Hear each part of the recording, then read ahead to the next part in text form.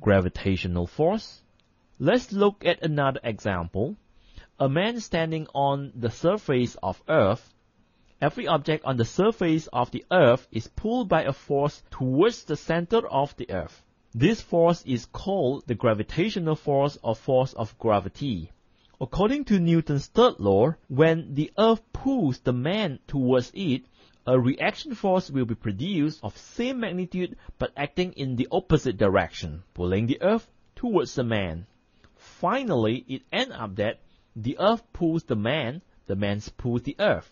This is what the Newton's third law about.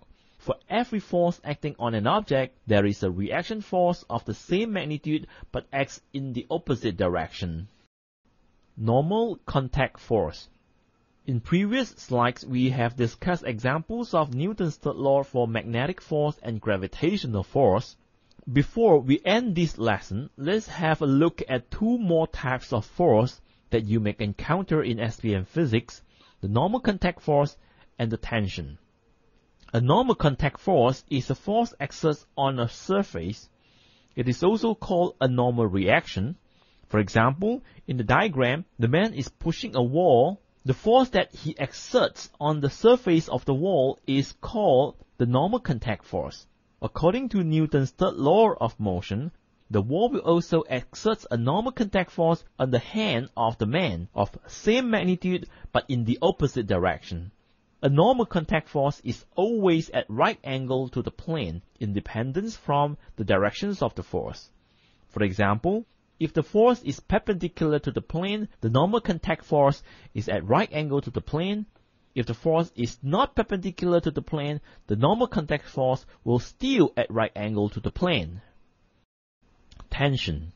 Let's say a spring balance is tied to two strings. The two strings are pulled by two forces in opposite direction. The reading recorded on the spring balance is called the tension of the spring tension is a pull exerted on an object. It always acts in the directions to pull an object away.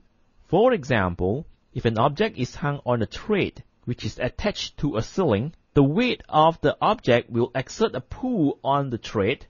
According to Newton's third law, this will produce a force of same magnitude but acts in the opposite direction, pulling the object upward. This force is called the tension of the thread. Tension can act in both directions. For example, a student pulls a string with his hand and hence produces a tension in the string. For his right hand, he will find that the tension of the string pulls to the left, whereas for his left hand, he will find that the tension pulls to the right. The directions of tension depends on which object it is pulling. For the right hand, it is pulling to the left. For the left hand, it is pulling to the right.